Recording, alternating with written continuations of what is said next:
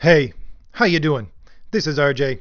You know, I really didn't plan to make a video today, but apparently I kicked a hornet's nest yesterday with my last video, and I'm going to use what happened as a case study to show why Comicsgate is going to win in the end.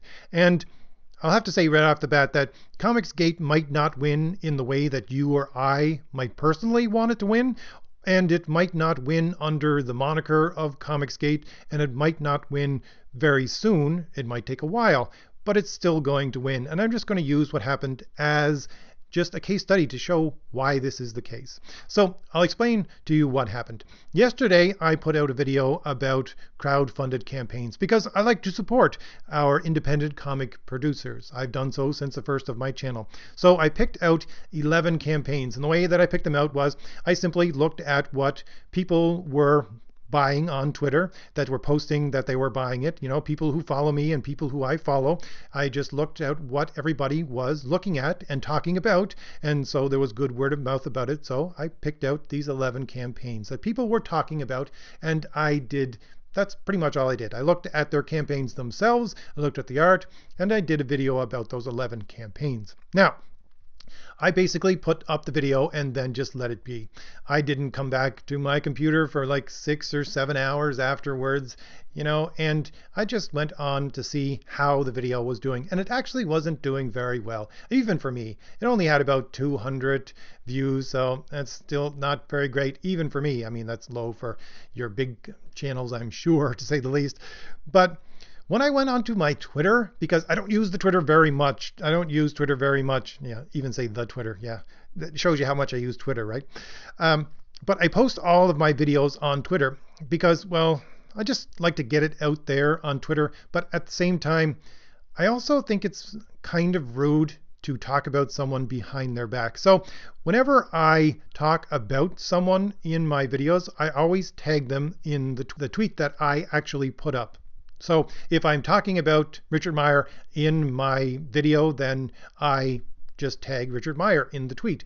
And if I talk about Sina Grace, I tag Sina Grace. If I talk about Sana Amanat, I tag Sana Amanat. So what I did with these 11 crowd-funded campaigns was that I found someone to tag for each one of them, and I tagged them in this tweet. And with all of my videos and with all of my tweets that I use for my videos, I put the hashtag Comicsgate next to it. Now, what happened was two of these people that were running these crowd-funded campaigns did not want to be part of what I was putting out there for advertising basically for them.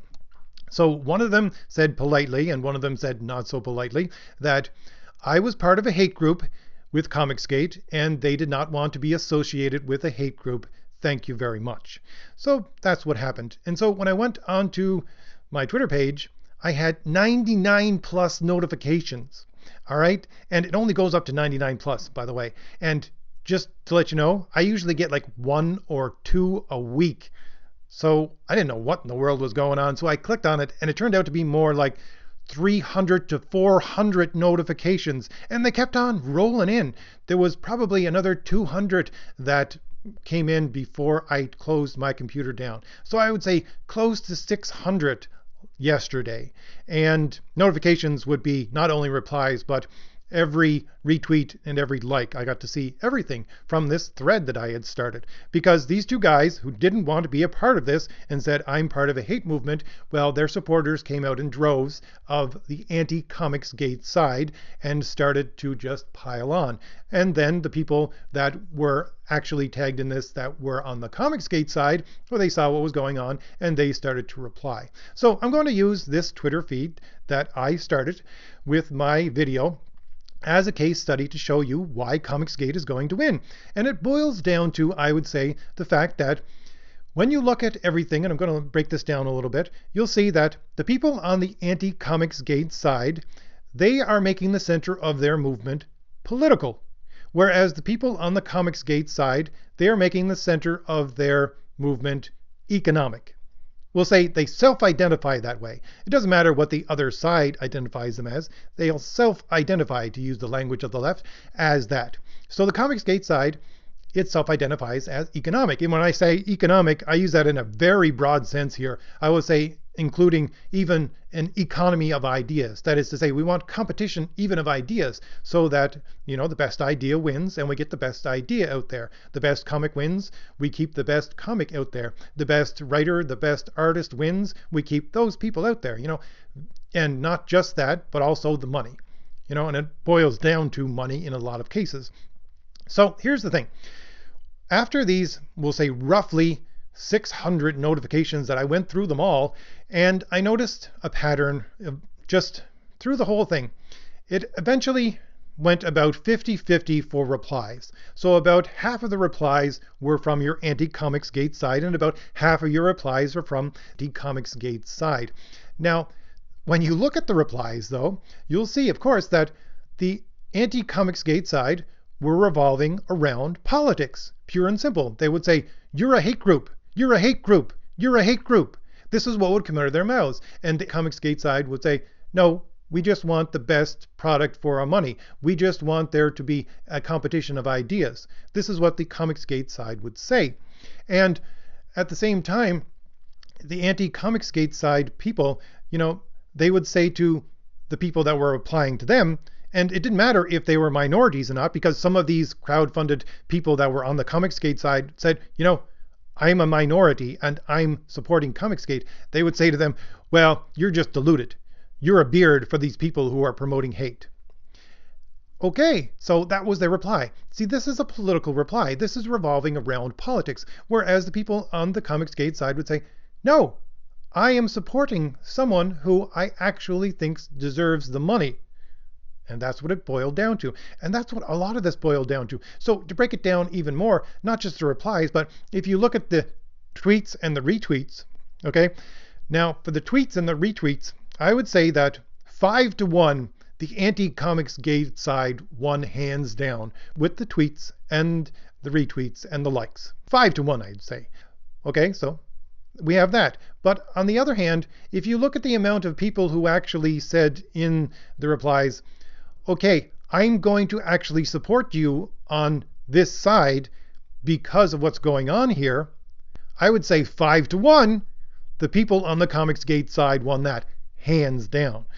The people who were on the anti Comics Gate side were very good about retweeting, were very good about liking things, but were very poor about actually supporting the people out there who are independent comic creators. And again, I'm just taking this as a case study. I'm only focusing on what happened here in this thread. Whereas the people on the Comics Gate side said, yeah, look, you're concerned with your customer. So I'm going to support you. It's like five to one. And that's great. I'm glad that these people are actually getting some support from what I did. At the same time, we have to remember that I'm looking at my video and there's only about 200 views on it at that point. So we got, you know, 600 notifications. Obviously, the people on the other side are not actually watching my video. I know some of them are. I have some of them that actually subscribe to me. And, you know, I don't agree with them on a lot of things, but they seem to be just well enough and nice enough people that they'll have a discussion with you. But most of these people that are on Twitter, no, they don't care. And that, again, that's a political move. But the whole point is, we're talking about selling comics here. That's what it boils down to. We're talking about selling comics. And the people on the other side are very willing to use political means, right? And not only that, I would say tweeting and liking things, that's virtue signaling. So that's a political end right there. That's a political means. You're concentrating on the political. At the same time, when you are saying, you're a part of a hate group and all of this other stuff, that's also political. As I've been saying in a bunch of my older videos, that that's a part of shaming. What they're trying to do is to shame you into not supporting the Comicsgate side. And that shaming, that's a political thing. They use the social and the political to do that. All right? Where again, you have the people on the Comicsgate side. They're just saying, listen, we just want good comics. We just want the most for our money. So again, the people on the Comicsgate side are the one who ones who are concentrating on this economically. And we're talking about the sale of comics. So these other people on the other side, they can virtue signal all they want. They can be political all they want. It's not doing anybody any good to put food in their belly. It's not going to save even the independent comic creators. It's not, whereas the Comicsgate people are. Now, here's the funny thing. Here's the really funny thing. These two guys who didn't want me to actually put them in the video. You know what they did? Okay, here's what they did. They said, I don't want to be part of what you're putting out there because it has hashtag Comicsgate attached to it, and that's a hate movement. I don't want to be part of that. But one of the guys kept on retweeting in this thread under the hashtag Comicsgate his campaign over and over and over again. At least six times. Last time I checked. At least six times. He kept on reposting it, saying, hey, go buy my book. So he knows that this breaks down to economics. He knows that comes down to brass tacks, it's how many books sell. That's what he, he knows it. And the second guy, you know, because both of them said, okay, I don't want you doing this for me.